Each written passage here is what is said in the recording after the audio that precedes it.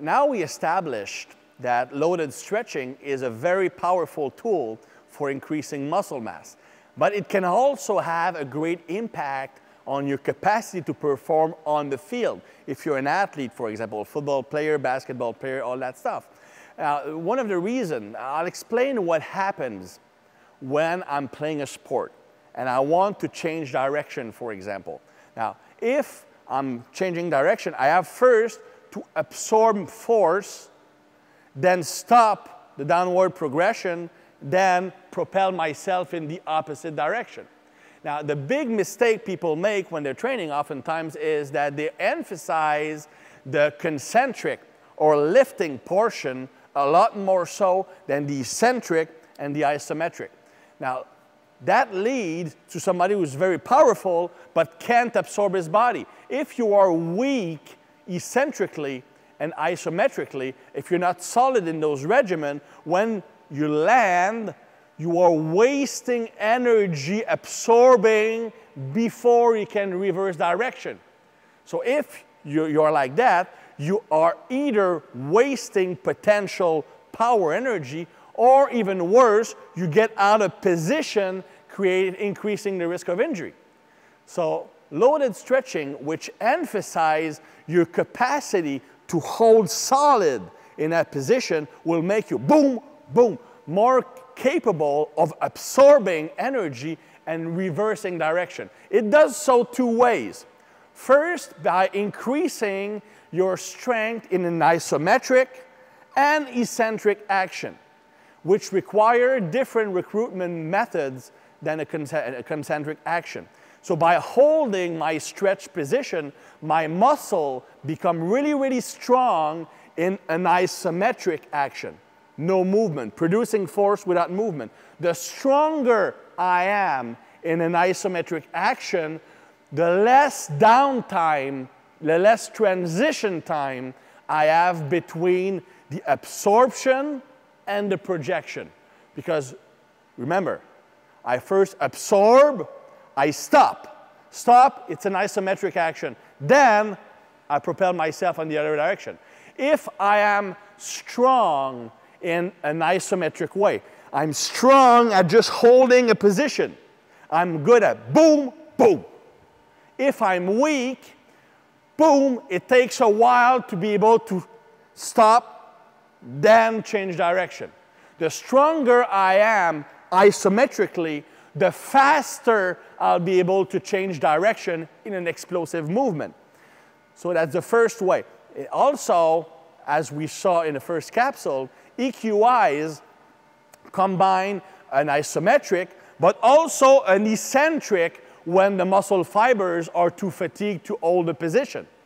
So you are also strengthening the eccentric portion of the movement.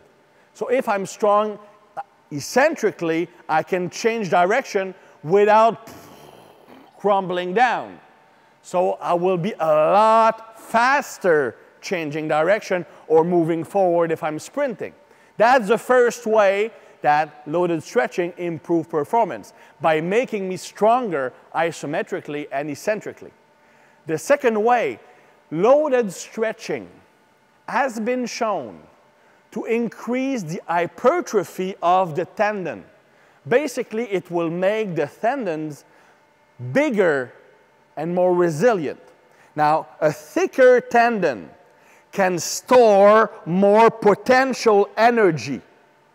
Energy that can be used in the subsequent movement. If I have big tendons, boom, the energy of my body falling down is stored in my tendon. And that can be used in the following action. So I'm much stronger than just what my muscle can do. I'm using that elastic energy, that stretch reflex, to propel myself further. So the thicker my tendon, the stronger the stretch reflex is. The stronger the stretch reflex is, the more power I have in the explosive action following the stretch. So loaded stretching, by making the tendon stronger and thicker, will increase my capacity to be more powerful. Even though it's an isometric movement, uh, action, there is no movement. So why would it increase power? Well, it increased power by making the tendon stronger and thicker. That increase plyometric action, like running, like jumping, like changing direction. The third way, because there's a third way it increases power production, we saw that in the earlier capsule. Because when I'm doing a loaded stretch, my muscles are deprived of oxygen, right? The muscle is contracting while it's being stretched. As a result, blood cannot come inside that muscle. So my muscle do not receive oxygen. If the muscle doesn't receive oxygen, it will automatically switch to recruiting more fast twitch fibers, which function without the, the help of oxygen. If I have no oxygen in, I recruit more fast twitch fibers because the body knows these fibers can function without oxygen. If I do that often enough, I program my nervous system to be more effective at recruiting the fast twitch fibers. And an athlete that is better at recruiting his fast twitch fiber will be more explosive because he brings those fibers in sooner in a movement, so he gains a fraction of a second on each and every contraction. And if that means like a 100 meter sprint, that could be a difference of like two tenths of a second, for example, just from recruiting those fibers faster. So loaded stretching will increase performance, not only muscle mass, and it does so by strengthening the eccentric and isometric actions, by thickening and strengthening the tendons, and by increasing fast twitch fiber recruitment. So as you can see, great way to train for maximum power.